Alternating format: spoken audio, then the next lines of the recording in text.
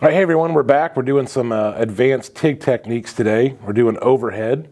Uh, in preparation for Everlast opening up our school, we wanted to start concentrating on some more advanced techniques, some tips and tricks, um, kind of prepping you guys for what we're going to teach at our school.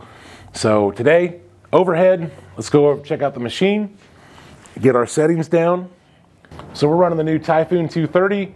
Again, nothing crazy on the settings, 171 amps, advanced square wave, 161 hertz, 35% balance. Now on the previous videos we had shown you some, some techniques to bias your tungsten or your filler rod addition running vertical and horizontal. All that's out the window with overhead. Um, the best way to think about overhead TIG is it's like running flat, but it's upside down. So you don't, you know, you're still watching your tungsten angle and your torch angle and feeding your filler rod right down the center of the joint, but it's not like running overhead MIG or overhead stick where your settings vary quite a bit and your technique varies. For me personally, running overhead TIG is the easiest, second only to running flat. Vertical and horizontal for me are harder than running overhead. The main thing is just making sure you're in a position where you're comfortable and you can feed your filler rod and have a good view of your of your puddle. Other than that, it's like running flat. So you come into this a lot. I see overhead a lot when you're doing like boat repairs. That's pretty much all you're running on a boat is running overhead. Unless something's cracked up on top of the deck, usually it's all like hull repairs. So you're overhead, you know, or you're slightly, you know, 15, 20 degrees down from overhead, but it's still pretty much above you. That's where this really comes into play. And I see a lot of guys get stressed out, oh, it's overhead, it's going to be so much harder really it's it's not that bad, especially if you've run a lot of vertical and a lot of horizontal.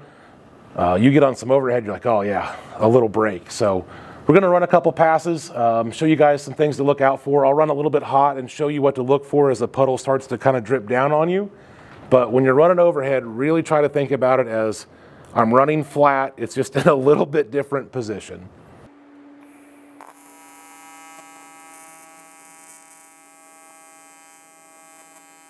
All right, so on this first run, I was kind of rolling my tungsten side to side, just showing like proper or improper uh, tungsten angle, and then ended up biasing my tungsten over to one plate. And so on the back side, my penetration is, you know, real inconsistent, lack of fusion. It kind of jumps between plates. And then as I biased that one plate, it kind of got over and I just got penetration on this one side. So that's, you know, typical flat torch angle control, that's what you're looking for, is to run right down the center and not trying to bias one side or the other or roll your torch to one side or the other. So you can see my penetration kind of jumped around, inconsistent, and then started rolling over to this one side once it started the keyhole.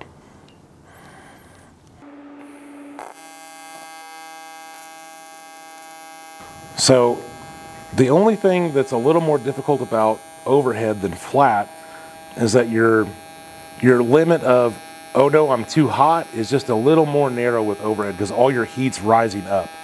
So when it starts to keyhole, you have to really get on adding filler rod to it or your puddle's gonna start sagging out, which this is super high and it starts kind of sucking back. And then once it blows out, you're pretty much done. You're gonna have to stop, let it cool off before you can start trying to fill that hole in. So you can see we started this second run about right here. We started getting hotter, getting hotter. Right here is pretty good. And then I stopped adding filler rod. It started to fall out on me, and that's when, uh, that's when it all went bad. So this top run, really nice, smooth bead. It's a little bit hot, but I was probably could have added a little bit more filler rod and backed off on the amps a tiny bit and get a little more definition. But Good toe line, nice, smooth, consistent bead. It's a little, you know, it's a little undefined. That's typically what I'll get with overhead is I won't get as much definition, but a nice solid run there. So here we got our, our backside of that last run. See, nice even penetration the whole way up. You know, it's not biased to one side of the plate. It's a good thick reinforcement. Um, and it, like I said, it's like running flat just in a different position. So nice, even balanced tungsten angle.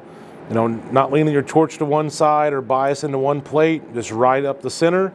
Filler rod right down the center on that front edge, watching it keyhole open and then jamming a little more filler rod than you would on flat. But other than that, it's pretty much like running flat.